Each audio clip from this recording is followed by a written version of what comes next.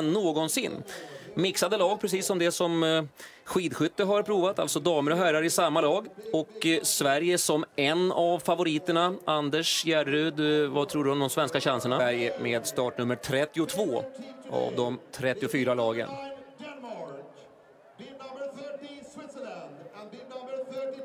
Och här kan det bli hetsigt i, i början, Anders.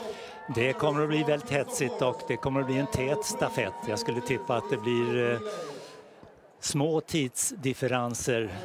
Även om eh, de här lagen som vi har nämnt, Danmark, Sverige, Schweiz, Ryssland, Storbritannien. EM-lopp på två år har haft mycket skadeproblem och nu blir det verkligen upp till bevis för danskan Emma Klingenberg med startnummer 9 kommer att vilja sätta upp tempot här. Det kommer hon med all säkerhet kunna göra, men jag tror att Helena är så pass väl tillbaka att hon ska kunna följa med här utan några större problem. Jag känner mig väldigt trygg med Helena Jansson här på en första sträcka. Fick bara stå ganska långt bak i klubben.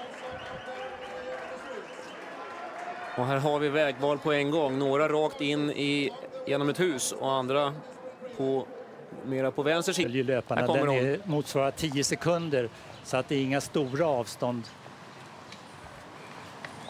Emma Klingenberg för Danmark passerar kontroll och har bakom sig, det var i alla fall den gula där, Australien så vitt jag kunde förstå. Är det Ukraina i gult också? Vi ser Helena Jansson där. Och det är väl, kan det vara 10 sekunder, Anders? Ja, det är drygt 10 sekunder efter. Eh, en eh, väldigt snabb stämpling där. Jag tyckte att hon inte ens rörde kontrollen. Ja, men det är sån här touch-free kallas det för. Man behöver bara nudda en. Sträckan ska då ta det som de alternativ som man inte hade på den första. Och det kan skilja lite grann mellan de olika alternativen. Som synes så går det fort. Här kommer Helena. Alltså inget VM på två år har Helena Jansson sprungit. Vad håller hon för idag? Hon har väl 100 meter fram i alla fall. Det här är alltså varvning. Eh, vilka var de andra två? Han är inte ens med där. Ukraina är med också. Ukraina var med där, ja. Olga Panchenko och Ukraina har ett riktigt bra lag. De har framförallt en väldigt bra avslutare i Nadja Volynska som gjorde en bra sprint i lördags. Pista som är riktigt löpstark. Men här ser vi inte Helena Jansson förrän där, strax mm. före Strax före Tjeckien, Tyskland, Österrike. Och där har vi 13 ja. sekunder och en liten lucka. Då ska vi se här. Vi, vi ser inte ens Lena Jansson. Nej, hon ska behöva en halv minut efter. Ja. Det är inte riktigt vad vi hade hoppats på. Vi ser Finland här. Nu gäller det att satsa allt vad det går. Danmarks Emma Klingenberg gjorde precis vad hon skulle, tog ledningen före Ryssland, Schweiz, Ukraina. Och Helena Jansson hon måste helt enkelt ha kroknat för oh, inte ja. det något större misstag nej, hon Nej, nej, hon är, var helt stum, helt stum. Och det här är helt enkelt en misslyckad uttagning. Man trodde mer om Helena än... Ja, men hon har visat så pass bra form tidigare i år att det var en, också en naturlig uttagning och just att sätta henne på första sträckan där det är lite stressigt och svårigheter av det slaget. Där skulle man, trodde man då, ha en nytta av att sätta in Helena med sin rutin. Men... Där kommer hon. Är inne som 14 och har passerat knappt 50 sekunder efter. Lämnar över till Jerker Lysell. Nu blir det satsning, Anders. Ja. Anna Jansson. Frankrike, ett annat eh, tämligen bra lag, som 20 Men eh, Sverige var ju ändå eh, en av de tre huvudfavoriterna. Vi pratade om Sverige, Schweiz och Danmark. Ja. Och nu här ser vi Nya Zeeland. Åtminstone när man eh, hamnar på gator och torg som här. Och Jerker Lysell har tagit upp jakten. Då är frågan, hade han tätat några sekunder där? Möjligt att han har gjort det därför att han gick tillsammans med Norge. Som... Han är inte bra med. Här kommer Jerker Lysell.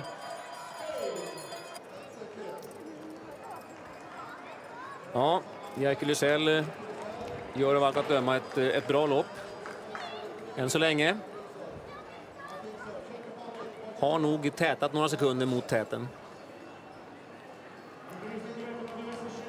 Danmark som har Maja Alm på den sista sträckan. Bronsmedaljör från i lördags. Här ser vi Australien som ligger en bit efter. De är alltså inne och varvar här halvvägs på den tredje sträckan. Och nu väntar då damerna eh, på att gå ut på den fjärde och sista sträckan för Sverige. Om några minuter så kommer, kommer då Lena Eliasson nere mot 14 och här värmer sluttjejerna upp. Vi ser för Danmark Maja Möller Alm. För Schweiz där som, eh, så har vi då världsmästarinnan från i lördags Judith Wyder och här har vi Lena Eliasson för Sverige. Det här blir en envig. Nu ska vi säga trevig. Där, nummer 30, Judith Wyder för Schweiz. Det amerikanska laget och här har vi Ukraina med Nadia Volynska utan tappade sitt försprång. Och nu är det alltså Schweiz. Här kommer klar ledning. Judith Wyder. Då är hon en kontroll från mål. Och hur stort är avståndet? Ja, är nu har Maja Alm kontakt. Sex sekunder. Och där kommer Vinogradova. Och där kommer Eliasson. Det här ser inte bra ut för Sverige, Anders. För det här ser ut som att det kan bli den här uh, snöpliga fjärdeplaceringen.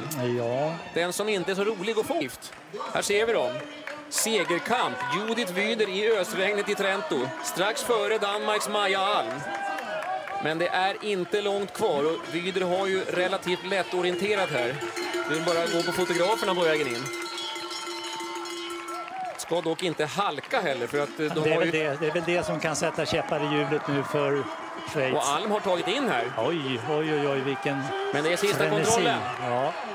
Hon tar väl det här ändå, Judith Wyder. Det är bara att se upp för halkan. Schweiz håller undan. Trots allt. Världsmästare i mixstafett, den första någonsin. Schweiz. Strax före Danmark. Och var har vi då Lena Eliasson? Det var just Schweiz-Danmark som vi utnämnde till de stora konkurrenterna till Sverige innan. De har infriat förväntningarna. Där har vi också Galina Vinogradova för Ryssland.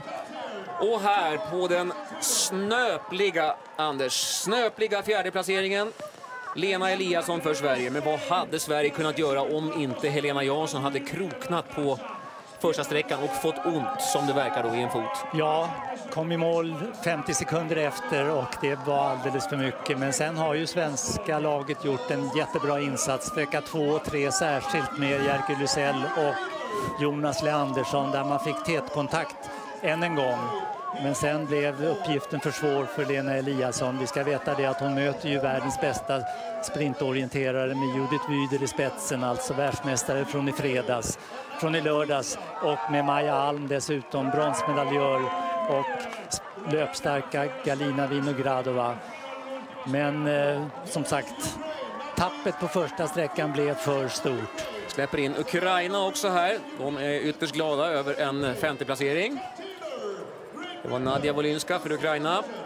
Strax före sjätte placerade Storbritannien som vi pratade en del om också innan.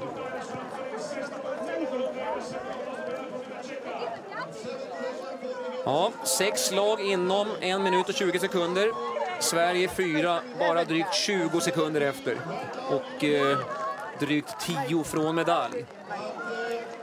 Det här är förstås någonting som svenskarna inte är nöjda med för att eh, Sverige har ett så starkt lag så att är man utanför medaljplats så, så är det ingen som jublar ikväll. Nej, eh, sprint är ju Sveriges paradgren så att säga. Vårt facit för i VM-sammanhang är ju riktigt imponerande och eh, även i år så har svenska sprinters gjort väldigt väl ifrån sig och förväntningarna var därför inför den här stafetten väldigt höga, väldigt högt ställda. Men det Helena Jansson råkade ut för på första sträckan spolierade chanserna egentligen även om som sagt löparna på den andra tredje sträckan gjorde strålande insatser så kunde inte Lena Eliasson bjuda upp till fight om segern på den sista. Vi tar in vårt kära grannland Finland här också på en åttonde plats med Marika Teini på slutsträckan. Fortfarande inte Norge i mål. Nej, de är en bit efter. De kommer inte in bland de tio bästa i den här stafetten. Österrike. Nej, ja. där har... Ja, du. Litauen, Litauen. Australien och Österrike och fortfarande inte den klassiska orienteringsnationen Norge. Men eh, Norge kommer vi att få se en del mer av under resten av den här veckan när vi flyttar upp i i bergen, i skogen, i Alperna för långdistans, medeldistans och traditionell skogsstafett? Ja, det kan du vara säker på. Skogsorientering är norrmännens specialitet. Man har aldrig varit särskilt framgångsrik på sprintdistansen. Man har bara genom åren tagit fyra medaljer i den här disciplinen. Och den här insatsen den var väl kanske lite i underkant men ändå inte oväntad. Här kommer väl Norge trots allt. Här har vi Norge ja, och de är alltså efter Österrike och Frankrike. Norge in på en trettonde plats. Men det är väl ett vägval det också. Sverige har anammat det här med gator, asfalt ganska rejält men inte varit så framgångsrika på långdistans i skog sista tio åren. Norge har ju varit precis tvärtom. Ja, men nu håller tendensen på att vända lite för svensk del tycker jag. Jag tycker vi kan ha stora förväntningar på det svenska laget när vi drar in i skogen på onsdag och ska uppleva långdistansen. Vi har ett bra lag på fötter där. Och det har ju också som sagt Norge. Och Schweiz, inte minst som vi ser här, för Schweiz är bra på allting. Det blev alltså en schweizisk världsmästarinna i lördags i Judith Wyder. Hon fick även äran att avgöra den här nya damstjärnan i den här sporten efter Simone Nigli från Schweiz som har eh, lagt skorna på hyllan. Här släpper vi i mål lag nummer 21. Det är Lettland. Vi väntar även in Italien. De är alltså drygt fem minuter efter de här lagen. Här har vi även Belgien som var med långt fram. Andra ja. längst fram efter, efter två sträckor men eh, har en klart eh, svagare avslutning. Bredden är inte den största i Belgien.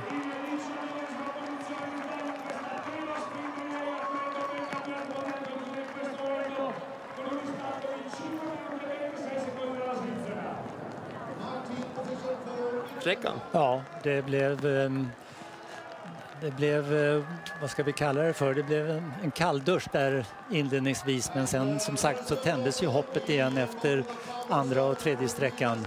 Schweiz, Danmark, Ryssland alltså. Schweiz guld, Danmark silver, Ryssland trea och Sverige som synes här fyra, 21,2 sekunder efter med Helena Jansson, Jerker Lysell, Jonas Leandersson och Lena Eliasson. Vi kan väl också notera det att det här var alltså premiär för mixstafetten i VM-sammanhang och jag tycker att den har slagit väl ut. Det har varit intensivt, det har varit spännande och det har varit publikvänligt.